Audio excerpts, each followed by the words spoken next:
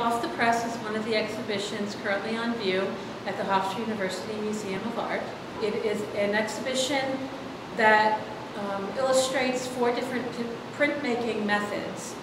So each section, there are four sections, discusses the type of prints and the way they're made. And it has to do with what part of the printing plate or the screen is printed, whether it's a relief, which is the top surface, or in Italia, which is the incised lines. About a year and a half ago, I knew I was going to do this. So I start looking at the prints in our collection.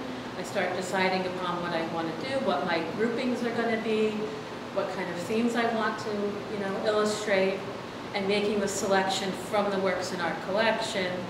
And then there are logistical things like how many pieces fit in the exhibition space, um, what works need to get matted and framed,